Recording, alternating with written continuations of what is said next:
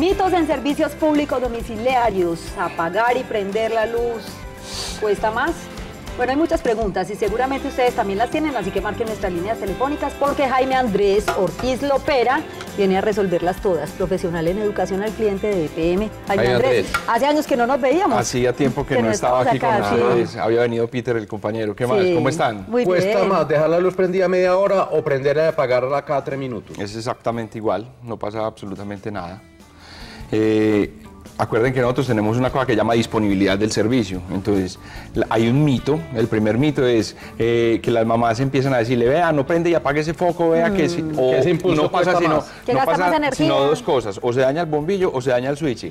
Pero la energía está ahí, entonces no pasa absolutamente nada. Pero si yo prendo y apago, si salgo de la habitación y apago, ahorro en consumo de Ah, ese energía. es un comportamiento que es absolutamente fundamental que deben de tener todas las personas. Si yo salgo de una habitación y no vuelvo a entrar, ¿para qué dejo el bombillo prendido? Que es cuando las mamás también nos dicen a los papás, apaga el foco, muchachito. Se aconseja Dios". entonces Claro, más o menos entonces, cuántos bombillos o cuántas luces prendidas. Una, Hay dos cosas que uno que debe tener. necesite. como la las que, más se necesite, utilice, pero como un espacio general que haya en el... Perfecto. Sí. Eh, hay, hay una cosa que es muy importante y es pongan luces blancas. Que la luz blanca, primero es ahorradora, ahorra hasta el 80% y segundo, O sea que sí es verdad. alumbra el 100% del espacio. Entonces, claro, luces blancas que son absolutamente verdad, es fundamental. Pero hay bombillas ahorradoras que son de luz amarilla. Sí, claro, Ah, hay luces, pero el- es mejor la luz blanca, porque te da la sensación de, de mayor tranquilidad y de mayor iluminación. Ah. Las luces amarillas, eh, es muy buena ese dato, Héctor, ¿sabes por qué? Buena la porque claridad. donde hayan mujeres, que es en casi todas las, las- las residencias eh, y en todas las casitas, mm, las deben de poner en los baños. ¿Para qué? Para que el- la luz blanca no no dañe el proceso de maquillaje, porque las muchachas Ah, casi bueno. siempre se maquillan en, Y a mí con la luz amarilla mejor. Y la luz Sí, amarilla mejor. crea un ambiente como más acogedor en ciertos espacios. Y para leer, ¿cuál es mejor? La luz blanca. La luz blanca. Indiscutiblemente. O sea, en el Por eso luz casi blanca. todas las empresas y todas las donde trabajamos siempre hay luz blanca. Ajá. Para el Vos que computador y para leer. instalación navideña todo el año es que Todo, para yo la dejo todo el año para leer. Para no sí. ponerla en diciembre. Mejor saludemos a esta televidente hola. que está en Guayabal. Hola, ¿cómo está Héctor y compañía? Feliz, ¿cómo te Muy llamas? feliz yo, Luz Marina. Lo Marina, traenos un regalito para los niños en la Sí, novena. también yo le iba a preguntar. ¿Tiene que ser hoy o en el transcurso de la otra semana? En el No transcurso de la otra que- semana. Cuando usted quiera, cualquier hora. Ay, yo pensé que era nomás hoy. No, todos los días, la otra Ay, semana. bien y tan bonito que lo vi en, en Serenata el jueves. Ah, bueno, ¿Te señora. acuerdas de mí? Yo creo que sí. Luz Marina, que me le fui hasta el palco. Por supuesto, si ¿Te pasaste acuerdas? rico. Tan bonito. Bueno, muy, muy contenta pues por haber participado. Yo también como fiel televidente. de Gracias, Luz. Marina. ¿Alguna pregunta en relación con los servicios Sí, públicos? por ejemplo, yo puse los, lo que se dicen es que ojos de buey. Sí. Y entonces a mí me dicen, no prenda todas las luces que eso gasta mucho. Y yo, pero es que por eso los puse ahorradores. Digo, no, si va a prenderlas, en, ca- en la sala tengo cuatro en el techo, en el comedor cuatro, y en las habitaciones de a dos. No, no, no, si va a prender el tele- en la sala sola la prende, o si no en el comedor, no prenda todo eso que eso gasta mucha luz. Yo, pero es que son ahorradores. Entonces Muy yo le quiero preguntar al señor Muy bien. que, que tan cierto es. Muy bien. Gracias. Que Un Dios abrazo. los Buen bendiga, un abrazo. Y un beso bien sonoro. Bien bueno, Gracias. sí, bien bonito, chao. Hasta luego. Muy bien. Luz Marina, el ojo de buey simplemente es una manera de lámpara. Lo que alumbra es el bombillo que usted está poniendo y usted puso bombillos ahorradores, o sea que funciona perfectamente, no hay ningún inconveniente. Ahora, si en ese solo espacio donde tienen los cuatro ojos de buey no necesitas prenderlos todos, no los prendas todos. Muy bien. Mito, que uno para salir tiene que desconectar el televisor y todos los electrodomésticos. No, una cosa es desconectar y otra cosa es apagar. El único electrodoméstico que no se debe desconectar es la nevera. La nevera, Porque sí. la nevera, ¿qué es? Un cajón para hacer frío. ¿Para qué? Para mantener los alimentos en buenas condiciones. Es lo único que no se debe desconectar y que no se debe apagar, Apagar. por supuesto. Pero nos puede dejar conectados apagados. Claro. Y no, No hay pasa ningún nada. inconveniente. Ni se Bueno, le y- quema el televisor fácil. Nada, eso es Y carreta. respecto al cargador del celular, que era lo que decía ahorita Héctor, se conecta, se carga el celular y si se deja el cargador conectado, Gasta energía, Gas- ¿es claro, cierto? por supuesto, sí. Entonces, se llaman Ay, consumos fantasmas. Sí. Son unos consumos muy pequeñitos, pero está consumiendo de todas Consume maneras energía. energía. Y Pero varios con- fantasmas lo asustan a uno con la cuenta cuando llega. Exacto. Entonces, ¿cuál es el comportamiento adecuado? Comportamiento adecuado.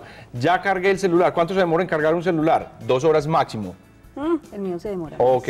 Mientras más modernos, menos sí. tiempo se demoran en cargar. Muy bien. Entonces, digamos dos horas, eh, ya se cargó, desconecte el, el cargador y desconecte el celular, no tiene que dejarlo. ¿Cuáles son los electrodomésticos que más consumen Consumen. energía en la casa de los comunes? Todos los electrodomésticos que para su uso necesiten resistencia son los que más consumen energía. Ejemplo. Entonces, la plancha, la plancha de pelo, el horno, El secador de el pelo. secador de cabello, todo. ¿La licuadora? la licuadora es un motor, entonces no tiene ningún inconveniente. es La normal. licuadora no gasta tanto. No gasta No. tanto, además porque uno lo utiliza la licuadora cuando va a hacer un jugo y un jugo se demora un minuto y medio. Entonces si es un motorcito y eso no tiene mayor inconveniente. Pero por ejemplo ahora en Navidad, nosotros en Navidad recomendamos mucho pilas, ¿qué clase de, de comida van a hacer? ¿Cuál es la mejor comida en Navidad? La de horno, definitivamente. La de horno. O la de horno. Entonces, si tiene horno a gas, no pasa nada. No me hagan caso de lo que estoy diciendo, que no hay ningún inconveniente, porque los hornos a gas pues consumen el gas y se acaba la carreta. Pero los hornos a energía sí consumen Bueno. un poquito, porque es una resistencia grandota. Entonces hay que tener cuidado con qué clase de comida Bueno, voy a hacer. Las instalaciones navideñas, los árboles de Navidad, los arreglos del balcón, todo eso gasta mucho. Nada, eso es una cosita así, son unos Son bombillitos mini, LED sí. y además ahora casi todos son LED, entonces es una bobadita así. Mucha gente dice, yo este año no voy a poner eh, alumbrados de Navidad porque es que gasto mucha energía. No y uno dice, no, no dañen la Navidad, que lo más lindo de la Navidad son las luces, el espíritu que genera toda esa vaina, la alegría de la familia. Pongan alumbraditos que no pasa nada, eso no consume mayor causa. O sea, para que llegue a consumirse dos o tres kilovatios es- se Es necesita. verdad. Lo que sí recomendamos desde en educación al cliente, desde EPM es, nos vamos a acostar todos. Ya, entonces apaguemos todo, porque para qué va a dejar el árbol prendido toda la noche y el Pero balcón prendido toda la recibimos- un noche. incendio de pronto.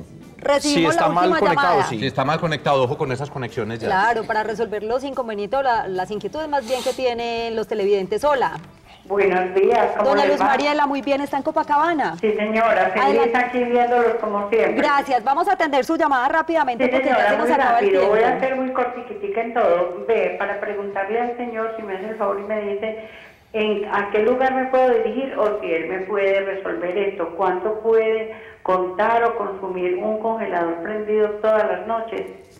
Todo el día y toda la noche. ¿Pero qué tipo de congelador? Un congelador para, para gaseosas. De negocio, Comercial, pues, comercial. negocio. comercial. Sí. Ok, eh, Sí, lo, lo que pasa es que yo pago los servicios en compañía y entonces Sí. para saber un más o menos. ¿Y alguna otra pregunta, no? No, ya, muchas Un gracias. feliz día y gracias Entonces, a. Ah, quedémonos con el teléfono de ella. Gracias. más Por bien quedemos favor. con el teléfono de ella porque si es una pregunta mm, que me coge Claro, aquí, me puntual. corcha aquí, es muy puntual, pero sí sabemos cómo, Mira. qué consumo puede tener un Claro. congelador de esos. Y un congelador puede depende del tamaño Claro. también o de la cantidad de cosas que usted guarde. Sí, total. ¿Usted se Muy comunica bien. con ella? Sí, claro, yo la Enseguida le llamo. damos entonces Yo el llamo. teléfono de nuestra televidente Jaime. Gracias. Claro. Por ahí en unos 15 días más o menos continuamos con el tema. Con mucho gusto. Hay muchos mitos en No, todo, pues, en energía, en todo. agua, en gracias. gas. Con Te mucho gusto. Serenata en la ceja a las 5 de la tarde de esta noche. Allá estamos. No hay Esta problema. tarde. Listo. Chao. Gracias, Jaime. bien. en el Gracias. parque. Nos vemos. Nos vemos esta tarde en la ceja. Feliz tarde. Chao. Traigan regalos. los que quieran.